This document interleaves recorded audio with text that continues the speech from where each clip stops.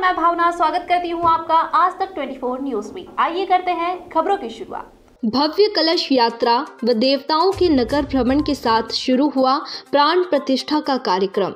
श्री भैरव टेकरी बाल्य चैतन्य हनुमान मंदिर बरु फाटक में तीन दिवसीय प्राण प्रतिष्ठा का शुभारंभ गुरुवार को कलश यात्रा के साथ हुआ, जिसमें मुख्य यजमान श्री पवन जी अग्रवाल ने जोड़े से कन्याओं का पूजन अर्चन किया व 108 कलश कन्याओं के साथ कलश यात्रा निकाली गई। यात्रा ग्राम के संतोषी माता मंदिर से निकाली गई।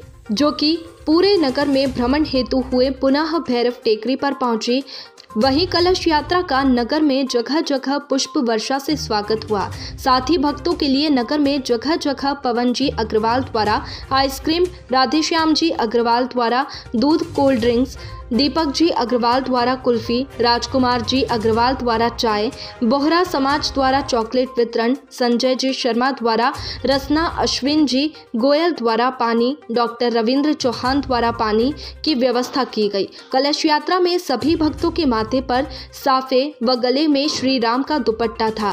कलश यात्रा में भगवान शिव परिवार, हनुमान जी व भैरव जी रथ पर सवार होकर नगर भ्रमण पर निकले। कलश यात्रा के बाद आचार्य पंडित जितेश जी शर्मा ने बताया कि दोपहर में भगवान का पंचांग कर्म हुआ, एवं अग्नि स्थापना की गई व सभी देवताओं का जलाधिवास करवाया गया। जिसके बाद रात्रि में आठ बजे श्री श्याम सेन मित्र मंडल खरगोन द्वारा संगीतमय सुंदरकांड का आयोजन किया गया। उक्त कार्यक्रम में ग्राम की समस्त महिलाएँ, बच्चे, पुरुष, बुज़ुर्ग व समस्त ग्रामवासी उपस्थित हुए। साथ ही प्राचीन भैरव टेकरी को आकर्षक फूलों व लाइट से सजाया गया। संवाददाता चंद्रशेखर जैन की रिपोर्ट। देश दुनिया की तमाम ताज़ा खबरों के लिए चैनल को लाइक, शेयर और सब्सक्राइब ज़रूर करें।